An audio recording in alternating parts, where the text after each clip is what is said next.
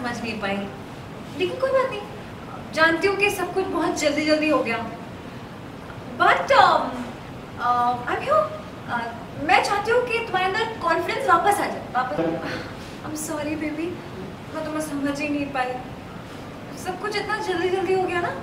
देखिए कोई बात नहीं। मैं हूँ ना। मैं तुम्हें कॉन्फिडेंस दाती हूँ।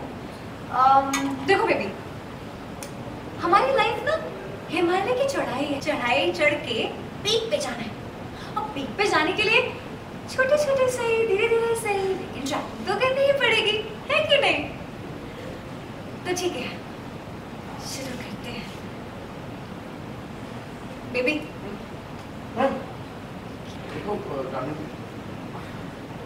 तुम जो चाहती हो वो इस वक्त मुझसे नहीं होगा। व्हाई नॉट मैं ऑलरेडी हूँ व्हाट सॉरी ऑलरेडी करके आया सॉरी सर मैं ऑलरेडी करके आया क्या? एक मिनट क्या कहा तुमने? तुम करके? एक्सरसाइज एक्सरसाइज करके आया हूँ मैं। तो अब दोबारा ओके बेबी तुमने ऐसे सांस खींचो और रोके रखो। ना मत ऐसे करो करो।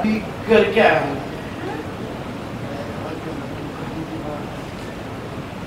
मलाई तो बिल्कुल ही नहीं क्या?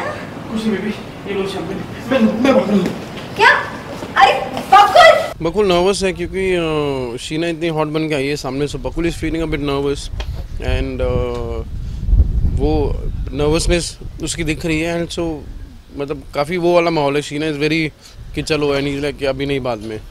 सो या फिर भी बकुल नज़रें चुरा रहे हैं इस सब बातों से।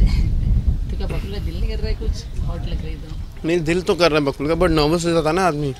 जब बीवी इतनी हॉट बन के आई सामने तो वो थोड़ा सक पका सा गया है इज़ लिल नर्वस करना तो चाहता है पर अभी नर्वसनेस के कारण डर रहा है। बकुल यहाँ दो दो बीवी अब यहाँ पे दूसरा सीन चल रहा तो फिर अगर ये बात पता चली जिन्ना को तो बकुल का क्या हाल होगा अगर जिगना को बात पता चली तो जिगना मुझे कुछ नहीं करेगी खुद को को- कुछ ना कुछ कर देगी। एंड शीना बिल्कुल कुछ खुद को कुछ नहीं करेगी वो मुझे कुछ कर देगी। सो मतलब दोनों साइड से बकुल ही फंसेगा।